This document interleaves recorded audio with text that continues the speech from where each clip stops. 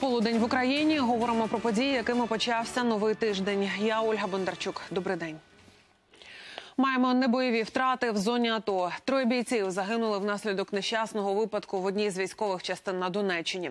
За попередню інформацією, причина необережне поводження з пічним обладнанням. У ситуації розбирається військова служба правопорядку Міноборони.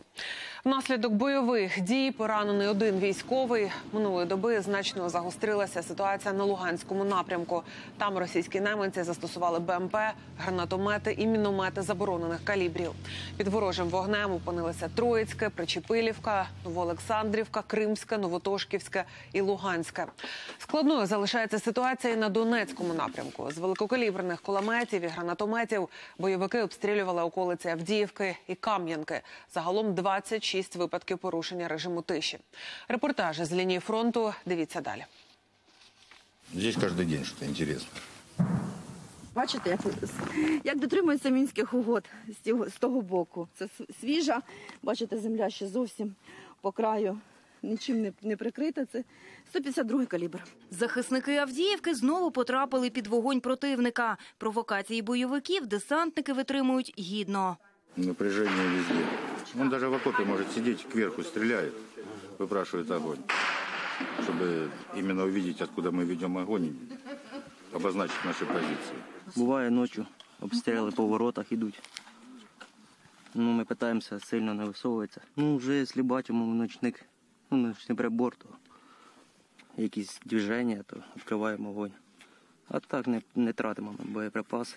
Під Авдіївкою постійні стрілецькі, гранатометні та мінометні обстріли. На північ під окупованою Горлівкою українські позиції теж під вогнем противника. Наші бійці тільки стежать. Конечно, мы можем предупредить в случае чего и предпринять какие-то меры заранее.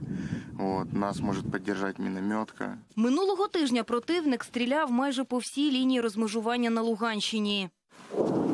Ідуть постійні обстріли і вдень, і в вечірній, і в нічний час. Вони зараз стріляють і з 82 мм, і 120 мм мінометів. За кілька десятків кілометрів від фронту на Донеччині активно проводять відновлювальні роботи. Зокрема, відкрили міст над залізницею у звільненому 14-го року Красному Лимані. Мосту майже 50 років. Він украй пошкоджений обстрілами. Але тепер тут встановили нову плиту для проїзду вантажівок вартістю в десятки мільйонів гривень. Так працює відновлювальна програма з реінтеграції Донбасу. Це четвертий відновлений міст. Загалом цьогоріч планували відремонтувати їх близько десяти. Ганна Ільїних, Геннадій Вівденко, Сергій Дубінін. Новини телеканал Інтер. Понад тисячу боєприпасів вилучили у цивільного населення Донеччини протягом однієї доби. Там правоохоронці проводять спецоперацію проти нелегального обігу зброї. У жителя Ясинувацького району знайшли кулемети набої. У прифронтовій Мар'їнці звичайний перехожий вносив при собі гранату. А житель Херсона намагався вивезти на мирну територію шість десятків автоматичних набоїв. За день у регіоні порушили шість кримінальних проваджень. Росія спричинила на Донбасі екологічну і гуманітарну катастрофу, заявив голова МЗС України Павло Клімкін на міжнародному безпековому форумі в Канаді. Він наголосив, що через дії бойовиків, яких контролює Москва, значна кількість вугільних шахт затоплені. Водогони та електролінії стали ціллю обстрілів. Клімкін закликав міжнародну спільноту посилити тиск на Росію. Українському журналісту Романові Сущенку загрожує 20 років в'язниці в Росії. Про це написав його адвокат Марк Фейгін у Твіттері. До Сущенка сьогодні мають прилетіти дружина і донька. На побачення напередодні суду написав Фейгін. Нагадаю, співробітники ФСБ затримали українського кореспондента 30 вересня торік у Москві. Його звинуватили у шпигунстві на користь української розвідки. У Харкові поліція затримала чоловіка, який намагався завербувати місцеву жительку до участі в наркоторгівлі в Росії. Вона мала таємно залишати зілля для клієнтів у вказаних місцях. Затримали чоловіка, коли той садив жінку в автобус до Росії. За даними поліції, зловмисникові 34 роки. Він раніше мав проблеми з законом. Тепер йому загрожує від 5 до 12 років тюрми. Сьогодні має запрацювати державне бюро розслідувань. Саме це відомство розглядатиме справи щодо злочинів, скоєних міністрами, держпосадовцями, членами ЦВК, депутатами, суддями чи правоохоронцями. ДБР також розслідуватиме і військові злочини. Раніше цим займалась генпрокуратура. Очолив держбюро розслідувань колишній прокурор Роман Труба. На цю посаду його обрала конкурсна комісія минулого тижня.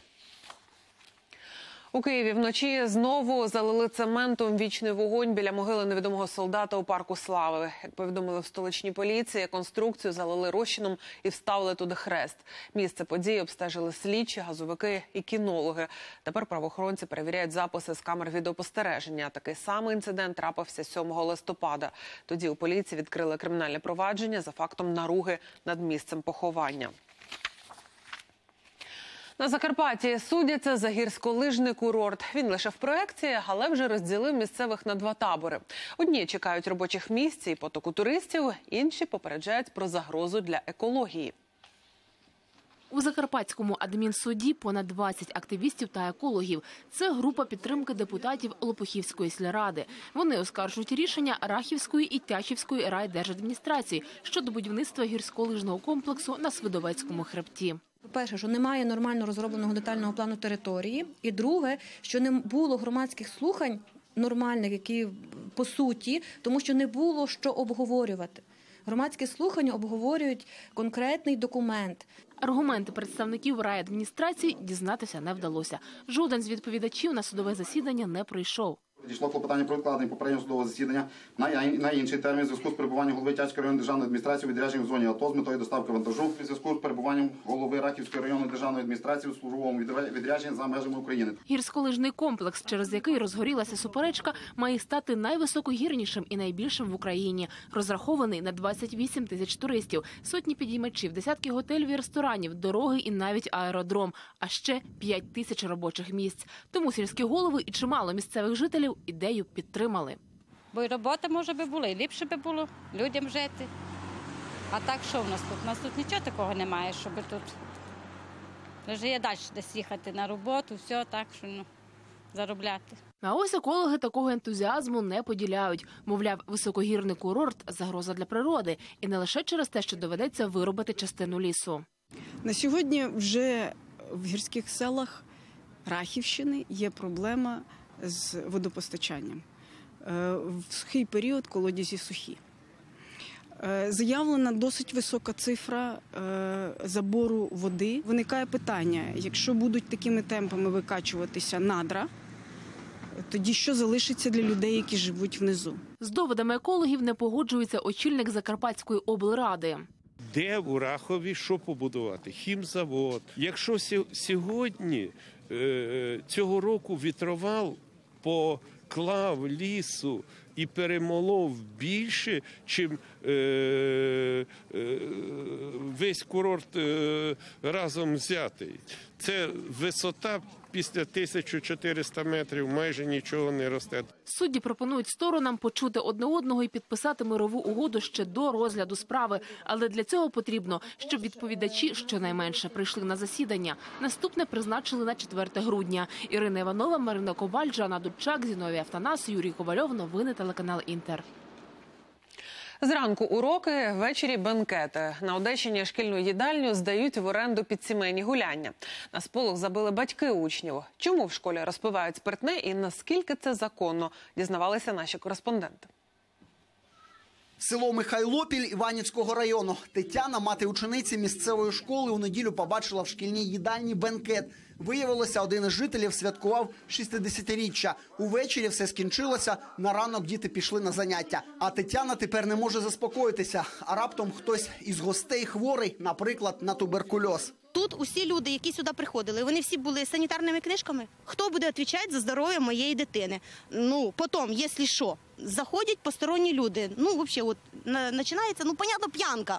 Так, як це може бути? Директор школи здивована такою реакцією батьків. Мовляв, їдальню здають вже багато років. Показує угоду з орендарями. За один вечір беруть 500 гривень. Гроші йдуть на банківський рахунок школи.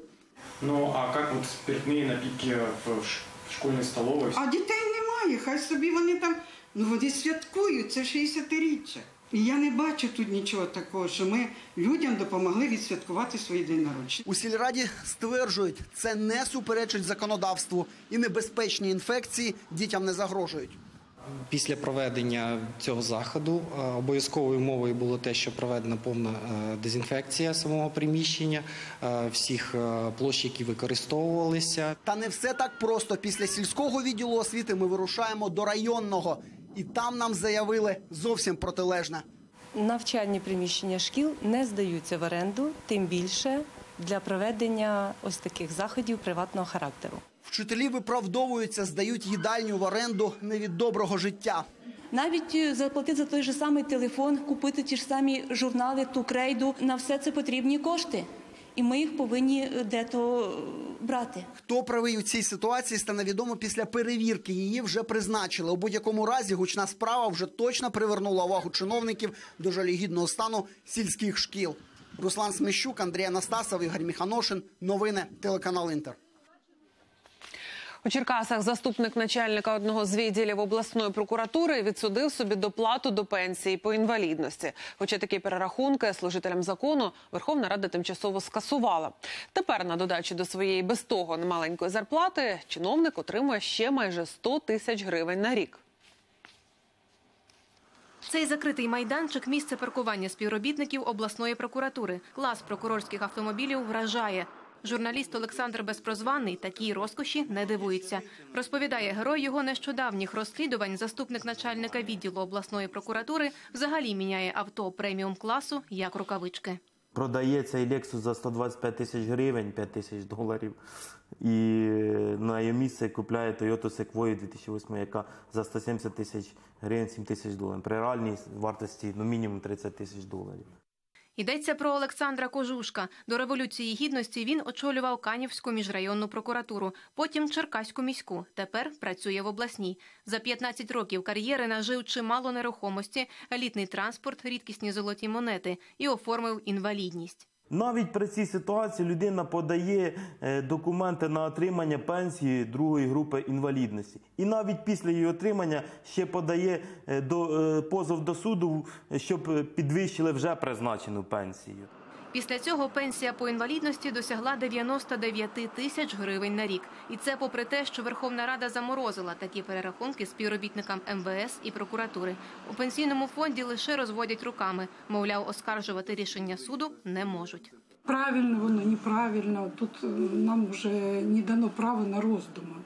Ми зобов'язані просто виконувати. Інформація щодо присвоєння інвалідності конфіденційна. Про свою групу Олегові Остапенко приховувати нічого. На війні в Афганістані втратив ногу. Коли почалися військові дії на Донбасі, навіть з протезом пішов добровольцем-інструктором на фронт. І в Олега лише третя група інвалідності. Практически вот все говорят, что надо, надо заплатить. Надо заплатить, тогда ты получишь группу. Меньше заплатишь, третью получишь. Больше заплатишь, выше получишь группу, вторую. Зустрітися з нашою знімальною групою прокурор не зміг. Терміново поїхав у відрядження. Телефоном повідомив, усе його майно спадок від діда, за що отримав інвалідність, хоче залишити у таємниці. Я вас хочу запевнити, що все відбувалося в межах чинного законодавства. І не побажаю е, свій стан здоров'я будь-якій іншій людині свою хворобу. Чи воно вам не заважає вашій роботі? Е, Не, не заважає. У мене не настільки фізична робота, що воно мені заважало. Свої розслідування щодо кожушка журналіст припиняти не збирається. Переконаний, матеріальне становище прокурора може зацікавити представників НАБУ. Катерина Сривкова, Станіслав Кухарчук, Павло Тимошенко. Новини телеканал Інтер.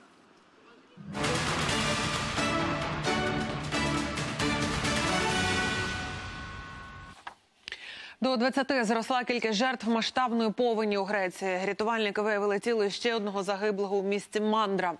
Нагадаю, минулого тижня внаслідок тривалих злив затопило кілька міст на сході країни. Подекуди вода заливала перші поверхи будинків. Сотні жителів залишилися без даху над головою. У Мандрі місцеві скаржаться на брак питної води і побоюються спалаху інфекційних захворювань. 19 осіб загинули, ще восьмеро травмовані у пожежі в житловому будинку в Пекіні. Сталося це вночі на околиці міста, де живуть переважно трудові мігранти. Полум'я гасили кілька годин, півтора десятка бригад вогнеборців. Поліція вже затримала підозрюваних у підпалі. Раніше місцева влада заявила про виселення мігрантів з центру міста на околиці задля покращення вигляду столиці. В американській в'язниці помер Чарльз Менсон, один з найжорстокіших злочинців ХХ століття. Йому було 83 роки. У 60-х він заснував культ родина Менсона, вдавав із себе перевтілення Христа і закликав своїх послідовників до вбивств. Найгучнішим стало масове вбивство 69-го року. Члени так званої родини вбили сімох людей, серед яких була і актриса Шерон Тейт, молода дружина кінорежисера Романа Полански, яка була на восьмому місяці вагітності. Попри те, що Менсон нікого не вбив власноруч, його 71-го року засудили до смертної кари. Втім, згодом через заборону штатом найвищої міри вирок змінили на довічне ув'язнення. Новий спалах пташиного грипу високопатогенного штаму H5N6 виявили у південній Кореї. Вірус зафіксували на качиній фермі у провінції Чолапукто. Міністерство продовольства запровадило дводенну заборону на переміщення країною свійської птиці. На птахофермах по всій країні проведуть дезінфекцію. Рік тому спалах вірусу цього штаму призвів до епідемії. Тоді довелося знищити 38 мільйонів голів свійської птиці. Ізраїль планує депортувати зі своєї території 40 тисяч африканських біженців. Про це на засіданні уряду заявив прем'єр-міністр Бенямін Нетаньягу. Чимало нелегалів оселилися у незаможних районах на півдні Тель-Авіва. Між ними і місцевими жителями час від часу виникають сутички. Раніше вже депортували майже 20 тисяч африканців. Крім того, аби припинити потік нових нелегалів, звели загорожі на кордоні з Єгиптом. Новий інтенсивніший етап депортації проводитимуть без згоди біженців їх примусово відправлять до третіх країн. А протягом кількох місяців зачинять тимчасовий табір у пустелі Негев. Вон вже висловили з цього приводу глибоке занепокоєння. Майже 100 мільйонів доларів виділить Лондон для розвитку безпілотних електричних авто.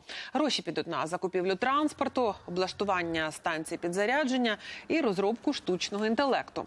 Частину суми витратять на поширення 5G зв'язку, необхідного для керування автівками. Безпілотні електромобілі курсуватимуть британськими вулицями вже за 4 роки. Дедалі більше людей починає переходити на електричний транспорт. Ми вже дійшли до цього рівня і маємо достатню інфраструктуру. За останні п'ять років продажі електромобілів зросли на 1800%. Отож, кількість таких машин на дорогах може збільшитися від 2 до 100 тисяч вже за п'ять років. Культурна дипломатія у Сполучених Штатах справжній ажіотаж навколо картин українських художників, які вперше виставили у Нью-Йорку.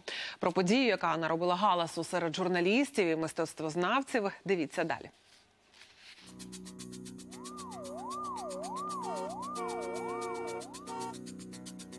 Шалений день у Нью-Йорку. Усе як завжди. Кінець тижня і нереальні затори у місті. В ООН цього дня рідкісний випадок. Відразу три засідання Ради безпеки ООН одне за одним.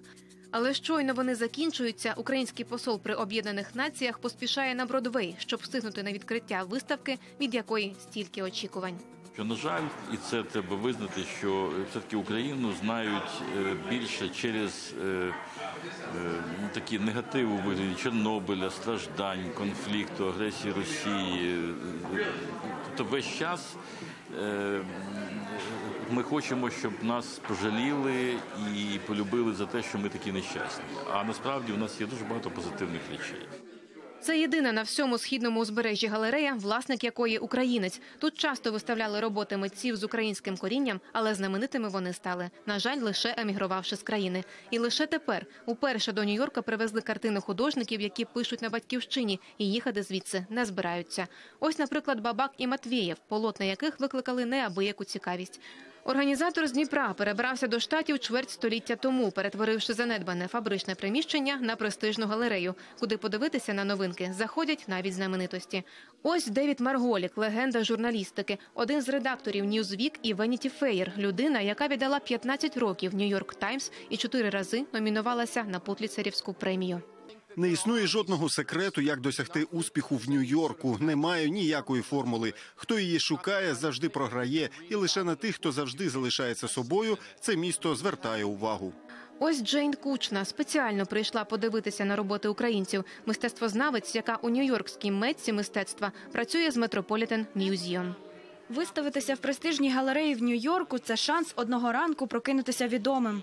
Це справді так, і мрія про успіх гріє багатьох. Щоб бути поміченими, на Бродвей приїздять люди з усього світу, але успішними стають одиниці. Привезти сюда две-три работы, выставить их где-нибудь, никто не знает где.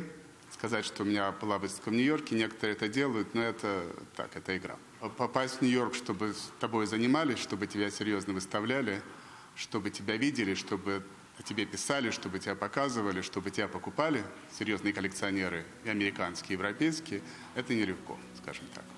Тепер про них говоритимуть і писатимуть. А наступної весни взагалі задумали зробити постійну експозицію. Зокрема, і для того, щоб в Америці припинили говорити про Україну тільки як про державу, яку роздирають війною, корупцією і конфліктами. А згадали, що в ній ще дуже багато талановитих людей. Катерина Сирокова, Дмитро Анопченко, Юрій Романюк. Новини телеканал Інтер. Шедевр за 20 хвилин на Філіппінах визначили переможця рекордно швидкої мистецької битви. Що вдалося створити художникам менш ніж за півгодини у нашому наступному сюжеті. Тьмяне світло, глядачі за спиною, а головне суворі часові рамки.